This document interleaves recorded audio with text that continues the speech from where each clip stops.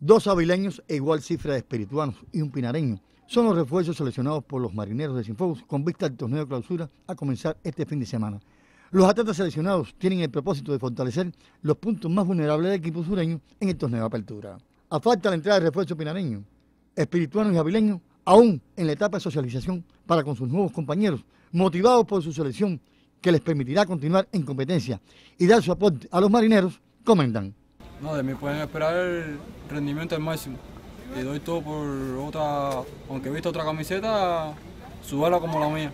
La expectativa que viene aquí este año es a tratar de dejar muchas puertas en cero y dar el 100% de mí al máximo nivel, ya que es la final de clausura y trataremos de ir por el título. Eso que Cienfuegos me haya pedido el refuerzo para aportarle todo el máximo que puedo darle a ellos y que confíen en mí que lo voy a dar todo en el terreno. Muy orgulloso de que me haya pedido refuerzo ya que confiaron en mí para venir para acá y aportar todo lo que yo pueda, ¿viste?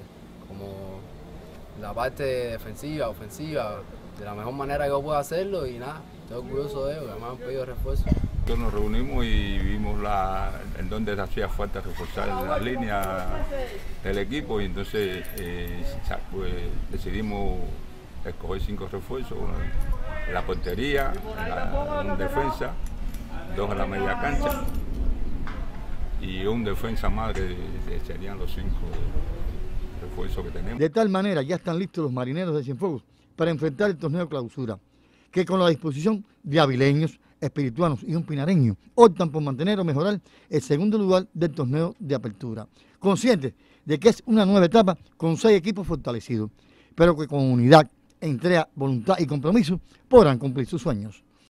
Deportivas, Primitivo González, Notisur.